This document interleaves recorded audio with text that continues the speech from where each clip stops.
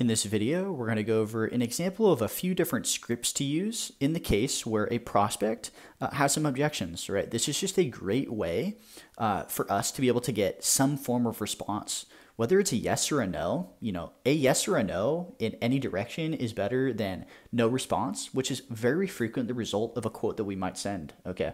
Uh, so this is a good way to get some answer, hopefully yes, but perhaps no, because at least it's better than being effectively stuck in uh, limbo and not getting a response at all. Okay, so this is a little final push to overcome objections or really get a response from a quote that we send. Okay, you can ask them uh, really these three questions. Okay, you know, do you believe our gutter cleaning will accomplish what you'll uh, what you came for us to get help with?